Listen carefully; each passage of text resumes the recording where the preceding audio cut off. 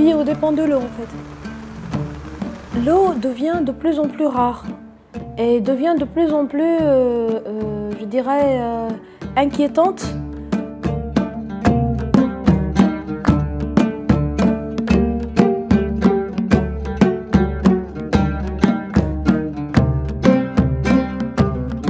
Le problème majeur provient de l'eau qu'on utilise pour l'agriculture. Et euh, ce qui se passe euh, euh, de façon ordinaire, c'est qu'on ouvre une vanne, mais indépendamment de la texture du sol, indépendamment du besoin de l'arbre, indépendamment de, de, la quantité d'eau qui sera utilisée ou pas par cet arbre. Un arbre ne peut pas gober cette quantité d'eau à la fois, et donc cette eau sera infiltrée et perdue, ou encore évaporée.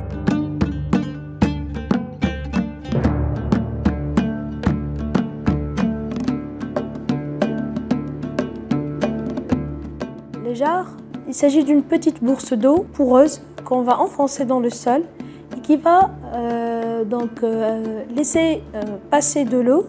Tout dépend du besoin de la plante. C'est la plante qui va pomper de l'eau de cette jarre.